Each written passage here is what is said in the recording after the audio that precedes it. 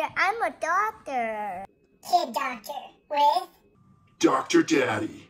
Ready to learn about? Fat. Here is this. What do you think that is? That is a buffer. What is it?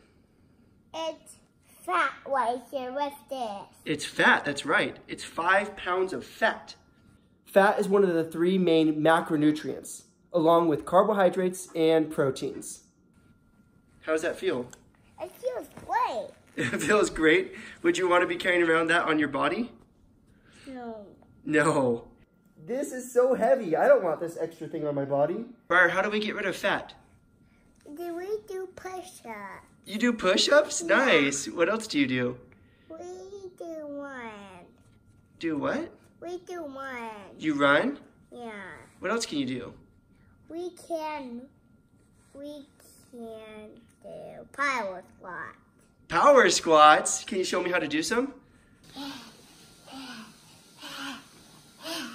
Five pounds might not sound like a lot, but even five pounds of excess weight is a lot to be carrying around. That's why it's so important to eat healthy. Briar, can you tell me what your favorite food is? Artichoke. Artichoke, that's a great food. That's super healthy. Just so you know, there's good fats and bad fats. Not all fat is bad.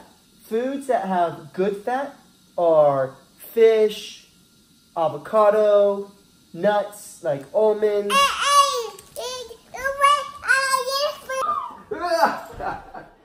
All right, mister.